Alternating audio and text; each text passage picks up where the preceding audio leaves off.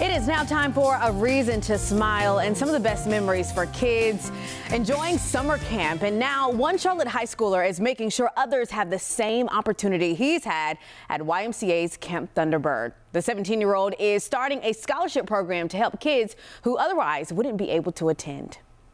Holt Daniels is a 17 year old junior at Charlotte Latin, but is no stranger to camp life at the YMCA.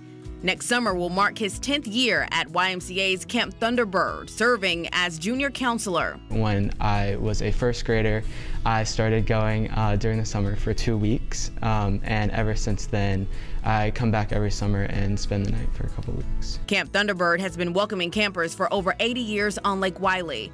The camp hosts both overnight and day camps for kids to be adventurous. My favorite activity definitely has to be the ropes course. Uh, there's lots of large, there's a zip line, there's a big alpine tower you can climb 50 feet off the ground.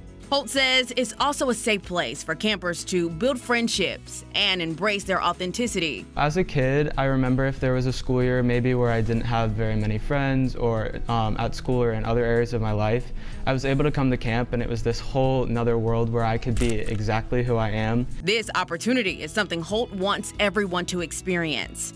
From now to the end of the year, he's hoping to raise $10,000 to go towards the Camp Scholarship Program. Every year, the fund ensures that kids of any financial background will have the opportunity to make memories at Camp Thunderbird. I have a donor that has promised to match every dollar I raise up to $10,000. So far, Holt has raised nearly $2,000.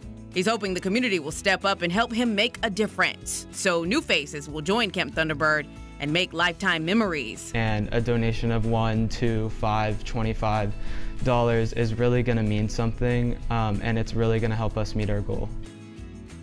All right, if you want to help Holt with his goal of raising $10,000, we have the story on our website, WCNC.com, so you can get involved. Ben? All right, already planning for summer. It's not even right? Christmas. I like it, though.